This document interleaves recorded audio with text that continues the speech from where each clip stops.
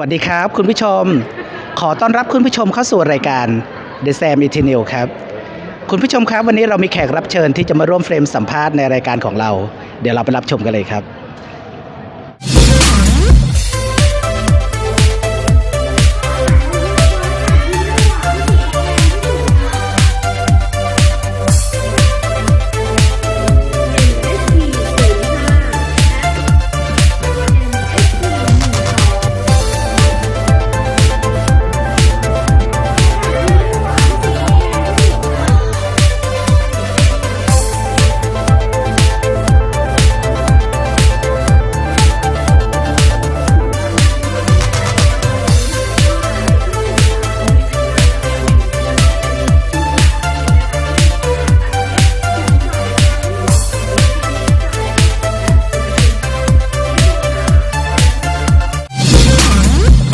คุณผู้ชมนี่เลยสาวสวยของเราน้องบิวสวัสดีค่ะอะความรู้สึกรอบราตรี factor วันนี้ก่อน ก็วันนี้ก็พลาดไม่ได้ไปอีกวันนะคะ แต่ก็รู้สึกว่า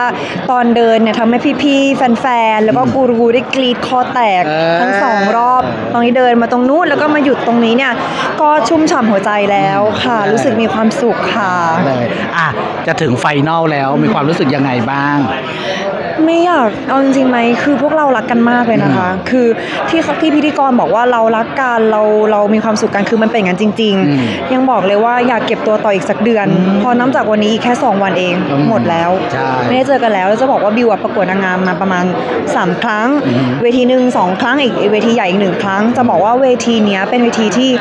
บิวมีความสุขมากที่สุด ได้เลย เป็นยังไงบ้างบรรยากาศการเก็บตัวอยู่ในกองเพื่อนๆสมาชิก รักกันรักกันมากๆค่ะ คือมันเหมือนเป็นอะไรที่ลงตัวระหว่างหญิงชาย อ๋อผู้ชายก็ดูแลผู้หญิงดูแลไม่ได้ในเชิงชู้สาวนะคะอ่า support ซึ่งกันและกันถ้าสมมติว่ากระโปรงของผู้หญิงยาว อ่าเป็นเป็นแบบหางปลาเขาก็จะช่วยถือให้ อืม คอย save โป๊คอยดูหน้าผมให้คือมันเป็นอะไรที่แบบ มันเป็นมวลที่ดีมากคือไม่รู้จะพูดยังไงอะค่ะ มันมันดีแล้วมันมีความสุขมากจริง ๆ แล้วก็อยากอยู่อีกสักเดือน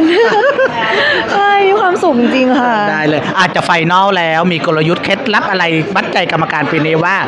มงแน่นอนอืม ก็สั้นๆเลยนะคะว่าบิวค่อนข้างที่จะมีประสบการณ์ในการที่จะไปใช้ชีวิตคนเดียวในการประกวดอืมที่ที่แคนาดาที่ผ่านมา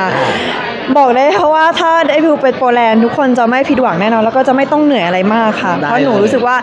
หนูจะดูแลตัวเองให้ดีที่สุด แล้วก็ทำให้ทุกคนภูมิใจค่ะ ได้เลยอะสุดท้ายแล้วอยากขอกำลังใจคุณผู้ชมทางบ้านนะคะแล้วก็ฝาก IG คุณผู้ชมเนี่ยได้เลยได้ค่ะสำหรับบิวนะคะ ปีนี้ก็จะเป็นปีสุดท้ายแล้วแน่นอนนะคะสำหรับ Miss Supranational Thailand ก็ฝากทุกคนช่วยโหวตนะคะ เพราะว่าจะเป็นการ support ที่เป็นรูปธรรมที่สุดอืมทำให้หนูได้ผ่านเข้ารอบจริง ๆนะคะสำหรับท่านใดที่ใช้ True นะคะ กดไปเลยนะคะที่ดอกจัน302 ดอกจันตามด้วย 08 สี่เหลี่ยมโทรออกนะคะ ดอกจัน302 ดอกจันตามด้วย 08 สี่เหลี่ยมโทรออก ก็โหวให้ดูเยอะๆนะคะ เดี๋ยวเจอกันรอบตอบคำถามมันแน่นอนค่ะ ได้ขอบคุณน้องบิวมากค่ะ บ๊ายบาย